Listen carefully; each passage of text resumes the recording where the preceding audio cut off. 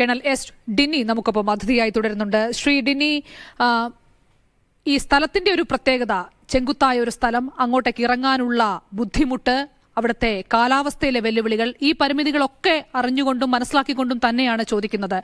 പക്ഷേ രണ്ട് പകൽ ആകുന്നു രണ്ട് രാത്രി പിന്നിടുന്നു ഒരു യുവാവ് ഈ മലയിടുക്കിൽ കുടുങ്ങിയിട്ട്.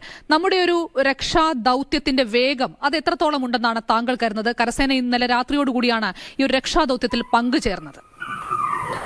ശാലി മാഡം ഞാൻ അങ്ങയുടെ ഈ ചോദ്യത്തിന് വരുന്ന മുമ്പ് ആദ്യം ഫസ്റ്റ് ഒന്ന് പറഞ്ഞോട്ടെ? അതായത് ഈ ബാബുവിന്റെ കുടുംബാംഗങ്ങളായാലും ശരി ഇപ്പൊ ഈ കണ്ടുകൊണ്ടിരിക്കുന്ന ബാബുവിന്റെ നാട്ടുകാരായാലും ശരി തീർച്ചയായിട്ടും ബാബുവിനെ രക്ഷിക്കാൻ പറ്റുമെന്നുള്ളതിനകത്ത് യാതൊരു സംശയമില്ല ബിക്കോസ് ഒന്ന് രണ്ട് കാരണങ്ങളാണ് ഞാൻ പറയുന്നതിന്റെ ഇതിന്റെ കാരണം. ഒന്ന് ബാബു എന്നുള്ള വ്യക്തിയും അത് അദ്ദേഹം ഒരു ചെറുപ്പക്കാരനാണ്.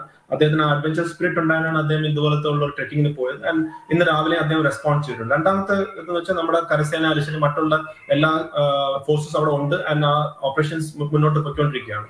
അപ്പം ഈ ഈ ഒരു ഇത് വെച്ചിട്ടാണ് ഞാൻ പറയുന്നത്. എനിക്ക് നല്ല ഹോപ്പ്ഫുൾ ആണ് that he will be saved എന്നുള്ളത്.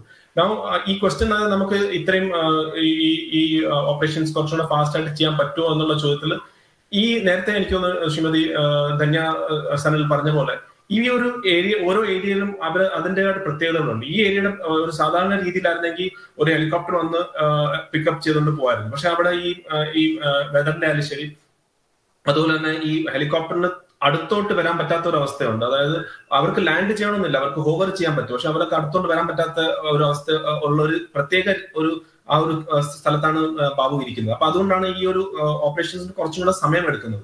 പക്ഷെ എന്നിരുന്നാലും എനിക്ക് തോന്നുന്നു ഇന്നത്തെ ഈ ഓപ്പറേഷന്റെ ഏറ്റവും ഫസ്റ്റ് ആയിട്ടുള്ള ഒബ്ജക്റ്റീവ് അല്ലെങ്കിൽ ഈ- രണ്ട് യൂണിറ്റിന്റെ ഫസ്റ്റ് ഒബ്ജക്റ്റീവ് എത്രയും പെട്ടെന്ന് ബാബുവിന്റെ അടുത്ത് ഫിസിക്കലായിട്ട് എത്താൻ ഉള്ള ഒരു ശ്രമമാണ് അവർ നടത്തിക്കൊണ്ടിരിക്കുന്നത്. അതായിരിക്കും അവരുടെ ഏറ്റവും ആദ്യത്തെ ഒരു ലക്ഷ്യം. അതായത് എത്രയും പെട്ടെന്ന് ഒരാളോ രണ്ടുപേരോ? ഒരു പടി പേഴ്സണായിരിക്കും അല്ലെങ്കിൽ ഒരാളെങ്കിലും എത്രയും പെട്ടെന്ന് ബാബുവിന്റെ അടുത്ത് ഫിസിക്കലായിട്ട് എത്ത- എത്താൻ ഉള്ള ഒരു ഫസ്റ്റ് ശ്രമം നടത്തുന്നതാണ് ഞാൻ വിശ്വസിക്കുന്നത്. അതിന്റെ കാരണം എന്ന് വെച്ച് കഴിഞ്ഞാൽ ആ വ്യക്തി എത്തിക്കഴിഞ്ഞാൽ അദ്ദേഹം ബാബുവിന് വേണ്ടുള്ള വെള്ളവും ഭക്ഷണവും പിന്നെ ആവശ്യത്തിനുള്ള മരുന്നും ഒക്കെ കൊടുക്കാൻ പറ്റും. അപ്പൊ അത് അതുപോലെ അതുപോലെ തന്നെ അവിടുന്ന് കമ്മ്യൂണിക്കേഷൻ ഈസി ആവുകയും ചെയ്യും.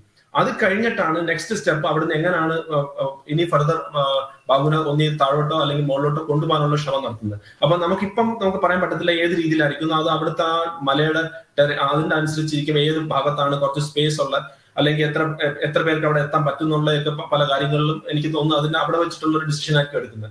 അതുപോലെ തന്നെ നേരത്തെ ബഹുമാനപ്പെട്ട മുഖ്യമന്ത്രി പറഞ്ഞ പോലെ ഹെലികോപ്റ്റർ റെഡി ഉണ്ട് ആയിട്ട് ഇരിക്കുന്നുണ്ടെന്ന് തോന്നുന്നു. അപ്പൊ ചിലപ്പം ഒരു ഒരു ഒരു ഘട്ടത്തിൽ ചില എനിക്ക് തോന്നുന്നു മേ ബി നമുക്ക് ആ ഹെലികോപ്റ്ററിന്റെ ആവശ്യം വരും.